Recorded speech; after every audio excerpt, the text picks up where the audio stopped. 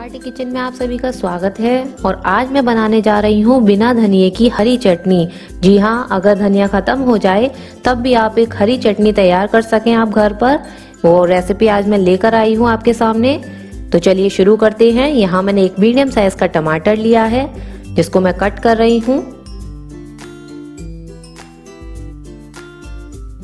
Cut करने का एक ये फ़ायदा है कि अगर कभी सब्ज़ी अंदर से खराब हो जाती है तो वो आसानी से दिख जाए। और उसे आप निकाल दें।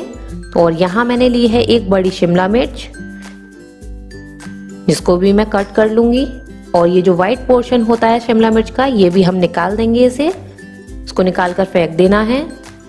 इसके शिमला मिर्च के बीज भी नहीं डालने हैं इसमें। इसको भी छोटे छोटे पीसेस में कट कर लूँगी मैं। क्योंकि शिमला मिर्च के ये जो व्हाइट पोर्शन होता है, ये चटनी का टेस्ट बिल्कुल खराब कर देंगे। इसीलिए इसे आप ज़रूर निकाल दें। आप मेरे चैनल पर नए हैं तो मेरे चैनल को सब्सक्राइब कर लें। और अगर सब्सक्राइब कर चुके हैं तो बेल आइकन भी ऑन कर लें। अगर आपको मेरी रेसिपी पसंद आती है, मेरी वीडियो को लाइक भी करें।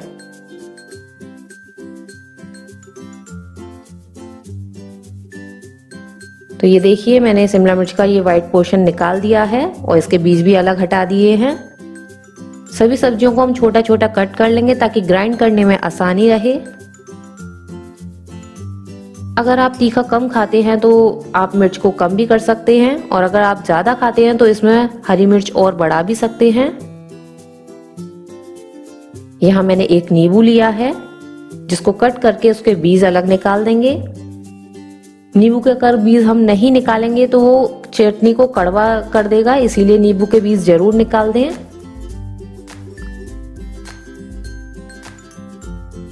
तो ये देखिए, मैंने यहाँ पे बीज निकाल दिए हैं। अब मैं आपको बताऊँगी कि इसको क्या करना है।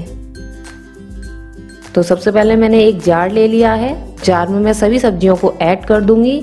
सारी सब्ज़ियाँ इसमें डाल देंगे। खाने में बहुत ज़्यादा टेस्टी लगती है। तो इसे आप एक बार बनाना, बनाएँ ज़रूर, एक बार ट्राई ज़रूर करना। ये बहुत ज़्यादा तीखी चटनी बनती है, बहुत अच्छी लगती है खाने में। तो सबसे पहले मैं इसे ग्राइंड कर लूँगी, उसके बाद मैं आपको बताऊँगी कि इसमें कौन से मसाले ऐड करने हैं। इसलिए वीडियो को एंड तक देखना। अभी थोड़े से सीक्रेट्स बाकी हैं। तो यहाँ मैंने डाला है ये आधा इंच का अदरक कद्दूकस करके। जी हाँ अदरक को हमेशा कद्दूकस करके ही डालें। और यहाँ मैं डाल रही हूँ दो चुटकी काला नमक। ये सफ़ेद नमक, ये स्वाद अनुसार डालना है। और भुना हुआ जीरा, आधा चम्मच। एक पिंच हींग। और जो हमने नींबू के बीज निकाले थे वो नींबू इसमें निचोड़ कर डालना है। इसमें नींबू का रस डालना होता है। ना तो इसके छिलके डालने हैं नींबू के और ना ही बीज। अगर बाई चांस बीज गिर भी जाते हैं तो ऐसे आप चम्मच से अलग कर दें। ये बीज बिल्कुल ना डालें आप।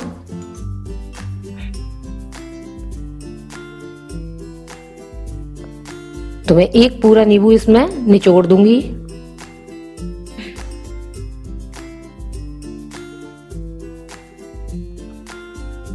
ये देखिए, बीज मैंने निकाल दिए हैं, इसमें बीज नहीं आने चाहिए। और अब इस सब सब मसालों को अच्छे से हम दोबारा एक बार ग्राइंड करेंगे पेस्ट तैयार करेंगे। ये देखिए, चटनी बिल्कुल रेडी हो चुकी है। आपको मेरी रेसिपी कैसी लगी, मुझे कमेंट में ज़रूर बताना। मेरी वीडियो को लाइक करना और ज़्यादा से ज़्यादा शेयर करना। मेरे चैनल को सब्सक्राइब करना।